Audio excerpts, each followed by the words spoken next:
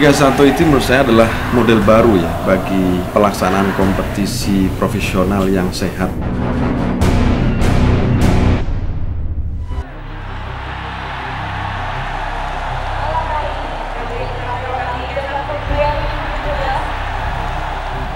Liga 1 itu menurut saya adalah model baru ya bagi pelaksanaan kompetisi profesional yang sehat. Kemudian apa menjadi industri sepak bola yang bagus dan memberikan motivasi kepada seluruh masyarakat Indonesia bahwa ini loh liga profesional ala Indonesia yang bisa berdiri sejajar dengan liga profesional di kawasan Asia paling tidak. Saya sudah melihatnya hampir seperti itu. Tapi lagi-lagi memang ini harus dikawal secara baik oleh uh, kita semua, oleh uh, pencinta sepak bola tanah air. Jadi ini ibaratnya kawah chandra di muka bagi sebuah pengelolaan kompetisi yang profesional yang sehat.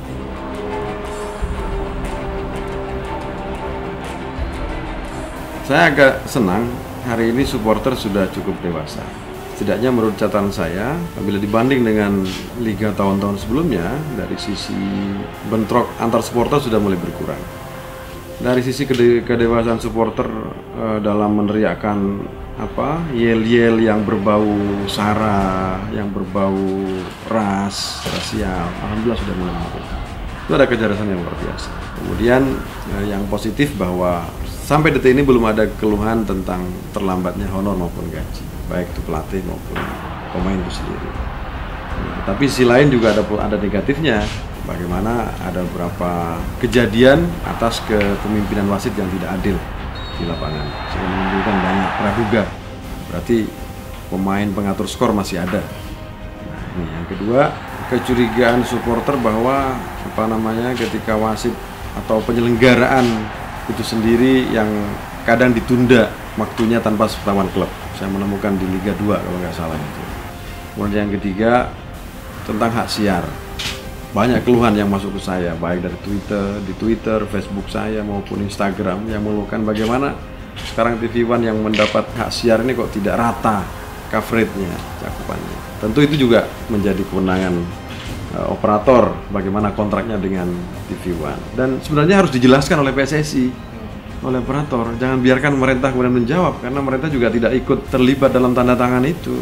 Nah, mungkin saja juga TV One mendapat kontrak hak siar yang terbatas sesuai dengan keinginan operator maupun eh, PSSI federasi.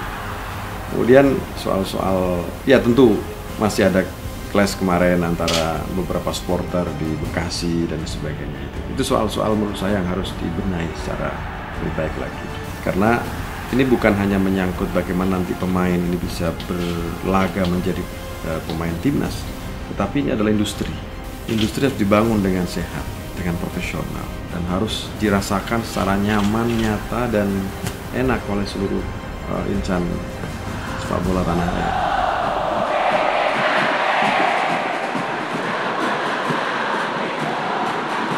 Satu sisi itu menguntungkan bagi pemain-pemain muda untuk masuk kepada jenjang profesional. Tapi sisi lain kalau kemudian liga di bawah 23, 21, 19 dan bahkan sampai ke bawah tidak digulirkan dengan baik oleh PSSI maka tentu ada suasana yang tidak terlalu mendukung bagi atlet muda untuk berkompetisi di level profesional karena dia tidak terkondisi dengan kompetisi di kelompok usia 21 maaf di kelompok 21 maupun 19 dan seterusnya. Nah, karenanya menjadi penting bagi kita bagaimana ke depan pelibatan pemain muda itu betul-betul terskenario dengan rapi, dengan api bahwa kompetisi berjenjang itu adalah rangkaian bagi mereka untuk menapaki cita-citanya menjadi pemain profesional. Tetapi di sisi lain ada sesuatu yang sangat positif menurut saya. Bahwa mereka bisa bermain dengan seniornya, bisa melihat bahwa seniornya yang selama ini menjadi katakanlah uh, tulang punggung maupun uh, ikon dari klub itu sendiri ternyata bisa bermain dengan seimbang atau bahkan bisa mengalahkan seniornya. Dan mereka juga beruntung bisa bertemu dengan marquee player katakanlah di dalam itu. Tetapi sekali lagi dalam konteks jangka panjang tidak harus betul-betul dilakukan uh, kompetisi secara serius di bawah kelompok usia uh, 23 bawah senior.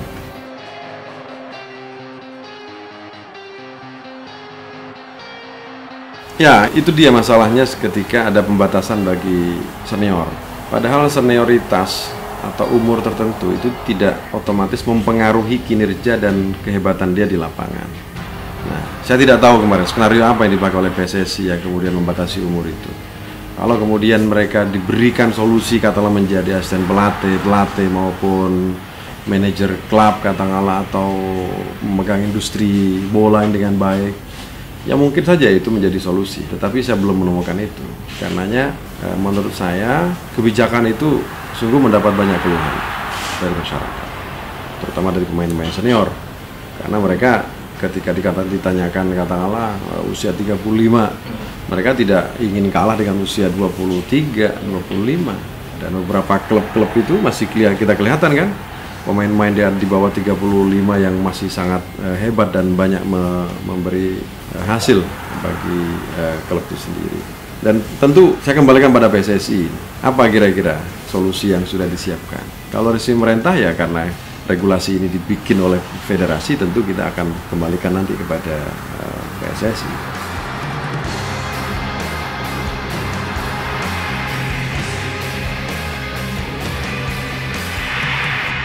Kalau dilihat dari sisi industri, maka sah-sah saja. Apalagi kemudian kita lihat dari sisi sportainment, ini sah-sah saja. Tetapi yang lebih spesifik dari itu bagaimana ada transfer knowledge, ada ilmu, pengalaman, pengetahuan yang diberikan oleh marquee ini kepada pemain Indonesia.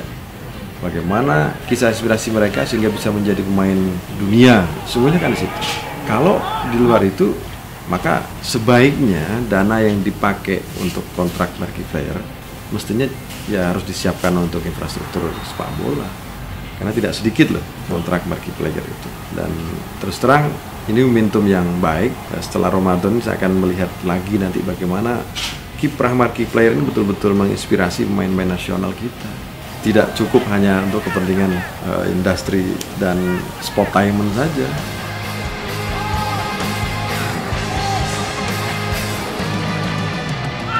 Saya kira Komisi Disiplin harus betul-betul tegas. Tegas dan tega sekaligus berani memberikan sanksi yang sepadan, seimbang dan seadil-adilnya kepada siapa pun yang bertindak anarkis. Meskipun saya melihat bahwa ini bentuk kecintaan yang luar biasa dari supporter ya. Bagaimana timnya ketika kalah itu tentu mereka meluapkan segala emosinya secara berlebihan mungkin. Tetapi ketika mereka menang juga tentu mereka sangat bergembira. Ini bentuk kecintaan supporter tanah air kita yang menurut saya harus kita apresiasi. Tapi ketika mereka sudah keluar koridor, masuk ke gelanggang, masuk ke lapangan, tentu panitia pelaksana harus bertindak tegas kepada siapa pun. Tidak boleh mentoleransi ini. Sekali toleransi, maka supporter lain juga akan meniru. Berarti lagi-lagi panpel harus betul-betul tegas.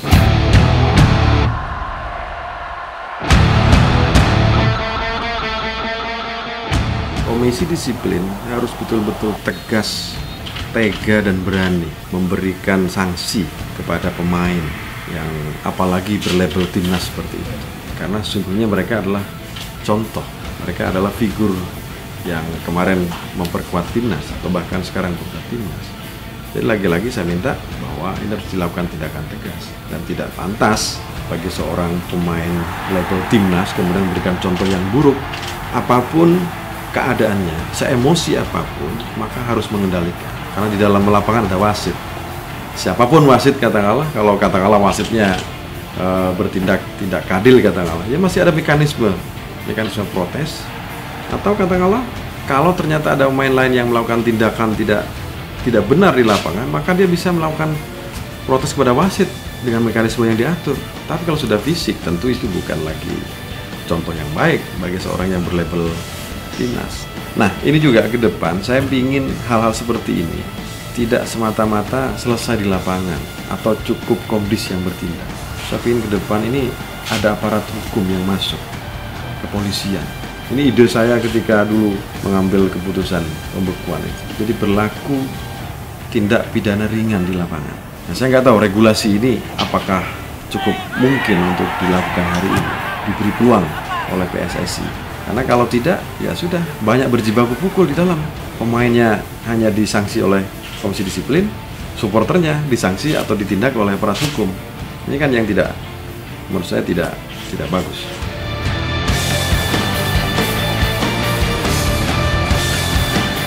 Terkait dengan kemudian hasil reformasi ini saya sangat senang sekali tidak sia-sia pemerintah melakukan tindakan kebijakan yang tentu sangat pro kontra.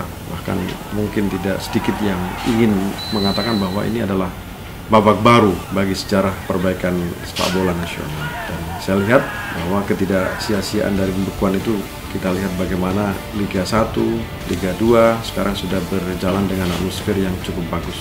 PSSI sudah melaksanakan itu melaksanakan sebuah harapan bahwa Liga bukan semata-mata ingin menggerakkan uh, semangat sepak bola, atlet, pelatih, supporter, industri untuk terus bergulir tapi sesungguhnya Liga menjadi kawah dari muka untuk melahirkan pesepak bola handal menuju ke timnas. Karenanya uh, Liga ini betul-betul menjadi satu kesatuan dari seluruh elemen sepak bola supporternya, medianya, ekonomi kerakyatannya, pemain, atlet, dan semuanya bisa melihat ini secara baik.